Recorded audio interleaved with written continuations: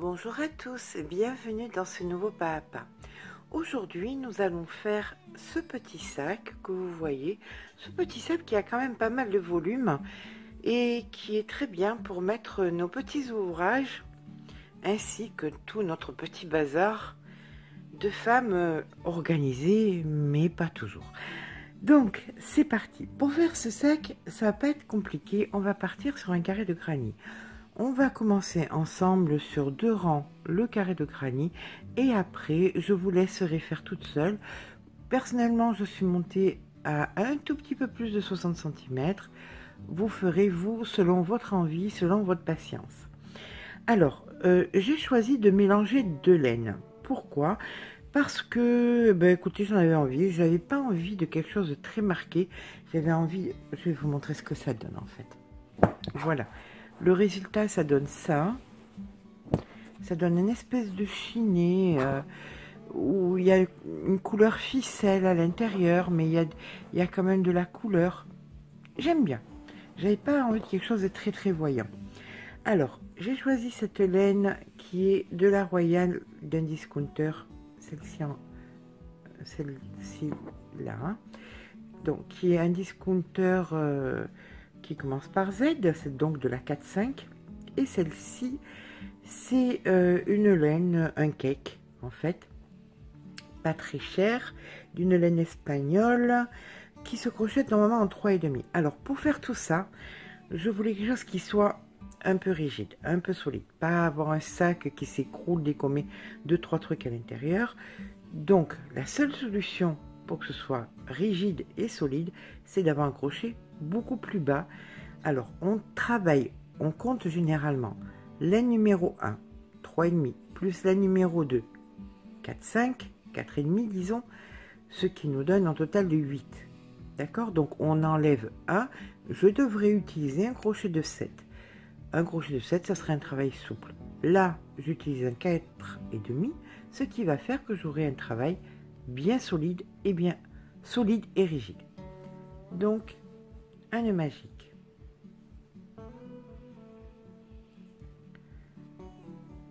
Dans ce nœud magique, je viens faire deux mailles en l'air. Ici, je fais à présent une 2 et 3 brides. Ici, je fais dans l'angle de mailles en l'air. Et je fais à présent 3 brides. Une, deux et 3. Deux mailles en l'air. 3 brides. Donc, une,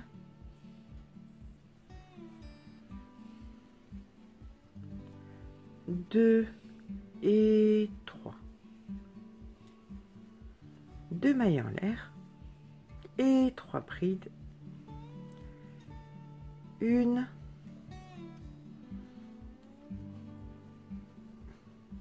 deux et trois. Deux mailles en l'air. Je tire sur mon fil pour resserrer l'ouvrage et là je viens fermer mon carré en faisant ici ma maille coulée voilà ça c'était le premier rang. Maintenant on va faire le second. Alors je vais utiliser une méthode que ma petite Vivi un crocheteuse depuis très très longtemps m'a donné vous voyez comme quoi on en apprend à tous les âges. Au lieu de faire tac tac tac de la maille coulée pour se retrouver ici et commencer le motif ici non on tourne dans ce sens et on va venir travailler ici ça va faire un carré beaucoup plus régulier et je vous assure que ça marche donc deux mailles en l'air mes trois brides vous vous en ferez deux si ça vous convient mieux il n'y a pas de règle il n'y a pas de gendarme qui viendra vous arrêter parce que vous n'êtes pas dans les clous. Ici, donc pardon, deux mailles en l'air. Ici, trois brides, une, deux et trois. mailles en l'air de séparation, je viens dans l'espace ici et je fais mes trois brides. Une, deux et trois. Deux mailles en l'air pour mon angle, trois brides. Une, deux et trois. Une maille en l'air de séparation. Dans l'angle d'après, trois brides. Une,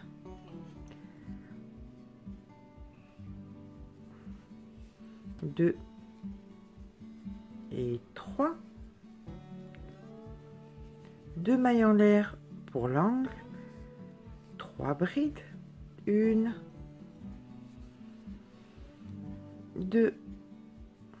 Et trois. Une maille en l'air de séparation, trois brides, une,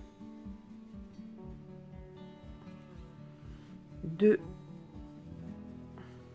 Et trois. Deux mailles en l'air pour l'angle, trois brides, une, deux et trois.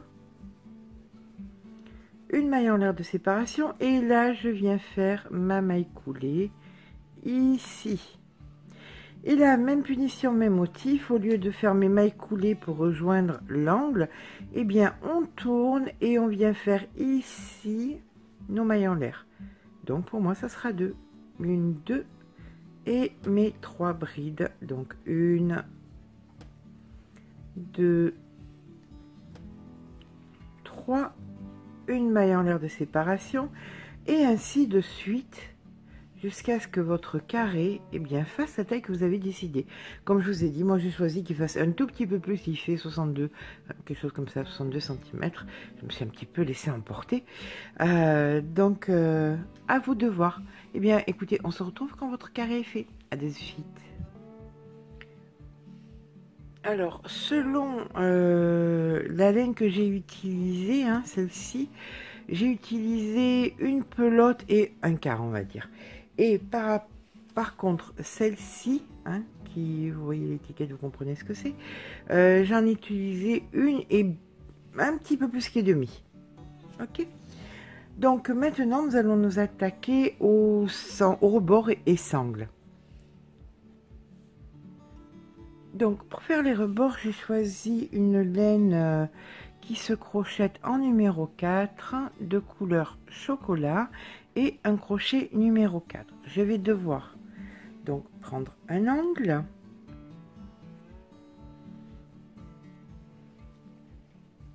Donc je vais partir dans le bord ici.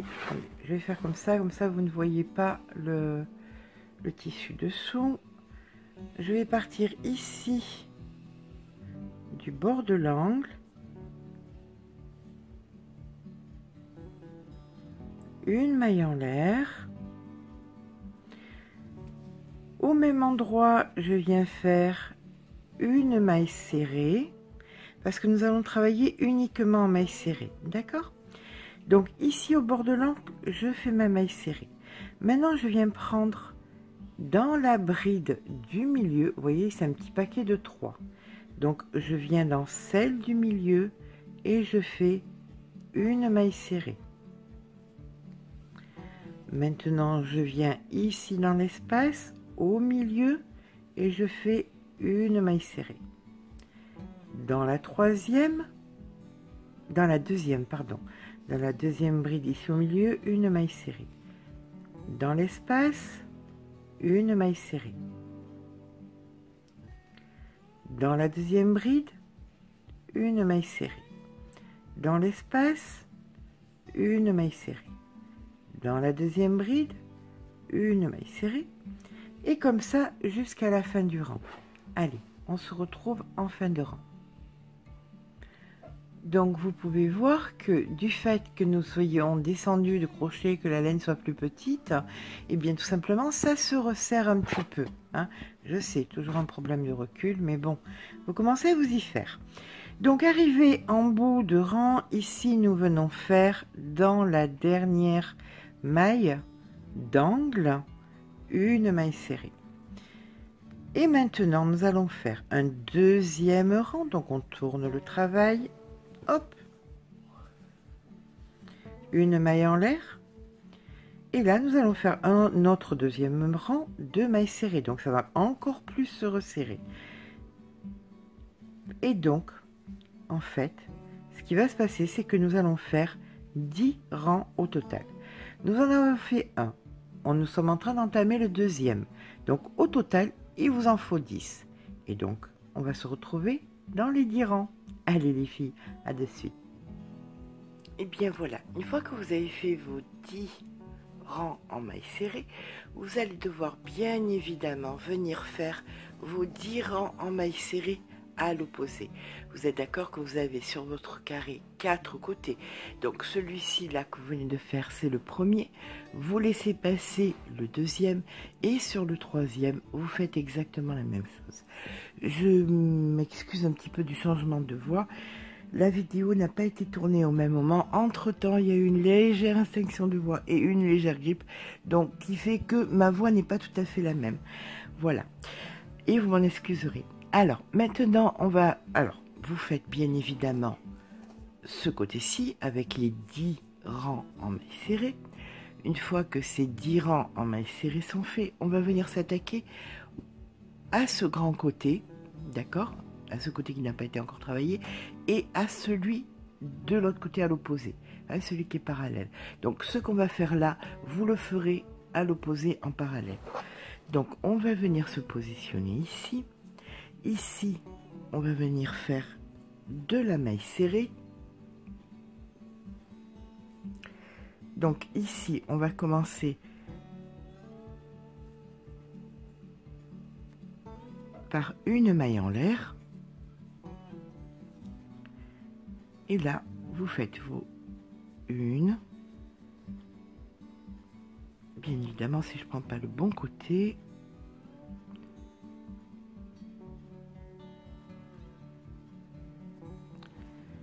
Donc une maille serrée, deux, trois,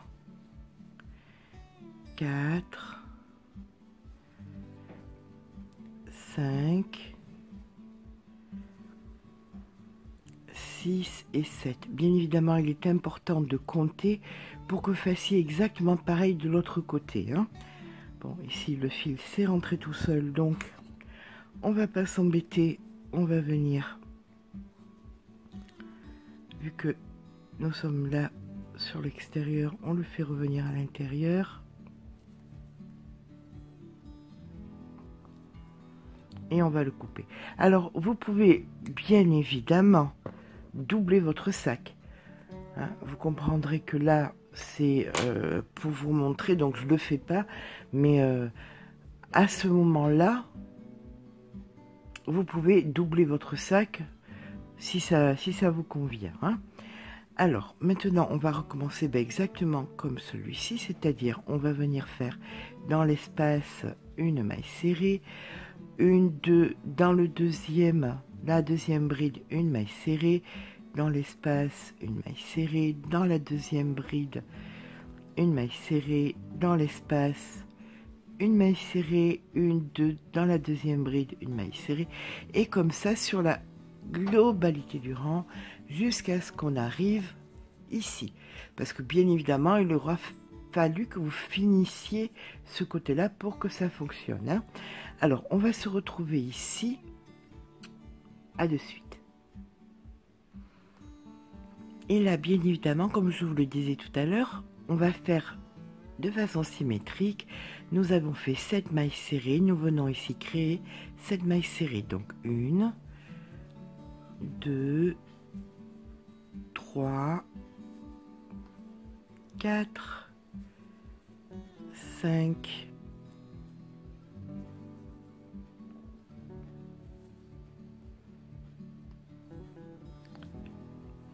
6 et 7 on tourne le travail et à partir d'ici, vous allez monter 6 rangs supplémentaires. D'accord? Et comme ici, eh bien, ça va tout serrer, ça va faire, ça va tout ramener comme ça. D'accord? Eh bien, écoutez, c'est parti. On se retrouve dans nos six rangs. Alors ici, une maille en l'air, bien évidemment. Et là, on fait uniquement des mailles serrées tout le long et ça sur six rangs supplémentaires. Donc au total, il y en aura 7. Allez, on se retrouve à la fin des six rangs. À de suite. Alors voilà, une fois que vous avez fini votre, votre hauteur, vous allez vous retrouver ici. D'accord? Si je ne mets pas au bon endroit, vous risquez pas de vous retrouver bien loin. Donc, vous vous retrouvez ici. Ici où vous avez fini et vous avez empiété là sur celle que vous aviez fait où il y en a 10. Ok? Ce qui va se passer, c'est que là, vous allez faire deux mailles en l'air et là, vous allez venir créer des demi-brides. Donc, une, deux,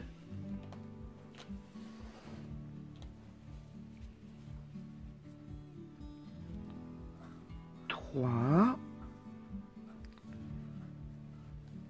quatre, cinq, 6 et 7 demi-brides. Là maintenant, vous faites deux mailles en l'air et vous allez faire comme ceci trois rangs supplémentaires, c'est-à-dire trois rangs de demi-brides. Donc, une, deux, trois, quatre, cinq, et 7. On se retrouve dans les deux rangs supplémentaires. Hein. Il nous en fallait 4. Là, on en a déjà fait 2. Donc, deux, deux supplémentaires. À de suite. Donc, lorsque vous aurez fait vos 4 rangées en demi-bride, vous allez, alors, soit, moi j'ai créé à l'aide, vous savez, du, fil aluminium en 4 mm, une espèce de cercle, euh, c'est la grosseur d'un tube de médicaments. Vous pouvez aussi prendre euh, des trucs de porte-clés là. Vous voyez ce que je veux dire? Ou alors acheter le matériel exprès. Mais franchement, ça coûte hyper. Je trouve que ça coûte hyper cher. Euh, je trouve que c'est bien moins cher si vous prenez un morceau de, fil de fer ou de fil d'aluminium ou un truc de porte-clés. Ça coûtera bien moins cher que d'acheter les cercles exprès. Enfin, vous faites comme vous voulez. Donc, vous rentrez l'anneau comme ceci à l'intérieur. Et là, vous venez le replier. Vous pliez ce que vous venez de faire par-dessus. Et au bord, là, vous allez tout simplement, vous reprenez votre maille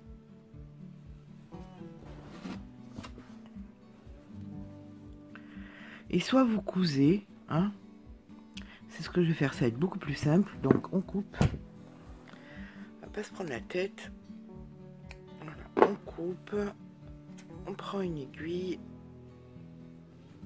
Ça sera beaucoup plus rapide moins prise de tête. Voilà. Donc ici,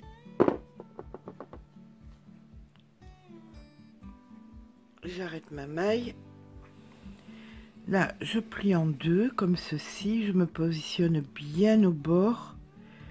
Et là, je viens coudre tout simplement ces deux parties. Voyez, pour que l'anneau soit bien tenu. Allez, on se retrouve en fin de couture. Donc, une fois que vous avez bien cousu votre, anneau hein, à l'intérieur, vous allez venir faire la même chose aux quatre sur les quatre angles. D'accord?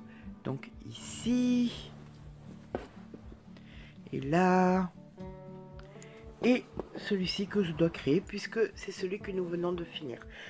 On se retrouve quand les quatre sont, sont terminés. À de suite. Donc voilà, une fois que vous avez mis vos quatre anneaux, hein, alors on est d'accord, les, plus grandes, ça c'est les courtes, les rebords courts ils vont devant et derrière.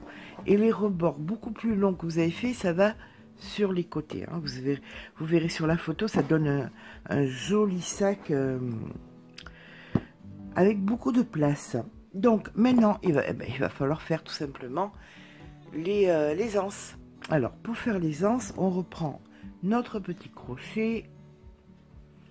Et là, nous allons faire une chaînette de 10 mailles.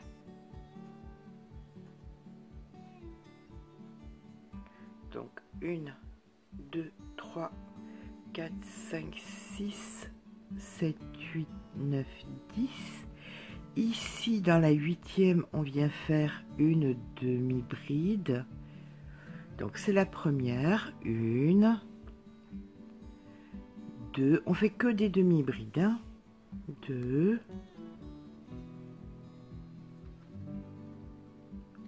trois, quatre, cinq, six,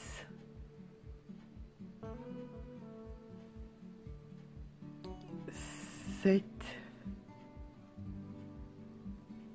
8 et 9. Et donc, vous allez monter comme ça en demi-bride sur... Moi, j'ai choisi de monter sur 90 cm. Donc, après, à vous de voir ce qui vous convient. Donc bien évidemment, hein, deux mailles en l'air, on tourne et on repart uniquement sur de la demi-bride. Pensez à compter le nombre de mailles que vous avez pour pas que ça fasse euh, un petit peu de l'accordéon, d'accord? Donc vous montez comme ça sur ce que vous voulez. Sur, moi j'ai choisi 90 cm, donc j'ai fait ici mes deux... Alors, vous pouvez euh, faire comme ça, vous en faites qu'une, vous la faites passer à travers les deux. Vous cousez ici, mais le problème c'est que l'ouverture ne sera pas bien grande. Donc il est plus judicieux d'en faire deux. Hein. Là, vous venez coudre ici. Là, vous venez coudre là. Et vous faites pareil avec la deuxième de 90 cm aussi. Ici. Et donc vous venez coudre ici. Et là vous venez coudre là. D'accord? Allez on se retrouve quand les coutures sont faites. Quand vous aurez monté vos lanières bien évidemment et que les coutures sont faites. À de suite Et eh bien voilà, une fois que vous avez monté vos anses, alors, certaines pourraient trouver qu'elles sont trop larges. Mais n'oubliez pas que quand il y aura du poids à l'intérieur, qu'est-ce qui va se passer? Hop Vous voyez, ça va se rétrécir. Ça, il faut prendre ça en compte. Hein. Ensuite, certaines pourront trouver qu'elles sont trop longues. Je le conçois aussi. Personnellement, j'ai choisi de le porter essentiellement en bandoulière, donc c'est pour ça que je les ai fait longues. Vous pourrez très bien choisir, vous, quand vous êtes en train de monter votre anse, de vous dire, là ça suffit, je m'arrête. Ça c'est à vous de voir. Voilà. Bon, maintenant, eh ben, écoutez, comme nous sommes quand même des filles, on va venir faire ici, hein, avec un petit... Euh, alors vous pouvez très bien avec simplement euh, un petit bout d'alu venir... Euh, l'accrocher là. Et là, on va se faire des petits gris-gris pour, euh, pour se faire plaisir. Alors, on va se mettre, par exemple, des perles, un petit cœur. On va mettre plein de petites choses. Hein. On se retrouve euh, quand tout ça est fait. Et bien voilà, pour agrémenter joliment votre petit sac, vous pouvez très bien mettre un petit cœur. Alors ça, vous le trouverez dans mes vidéos. Euh, vous regardez la vidéo, il y a la vidéo pour faire les petits cœurs. C'est très rapide à faire. Hein. Vous pouvez agrémenter aussi avec des perles, avec enfin des pompons, tout ce que vous voulez. Voilà. Eh bien, écoutez, euh, je vais. C'est vrai que vous n'avez pas le recul, donc je vais vous mettre une photo pour que vous puissiez voir ce que ça donne en globalité.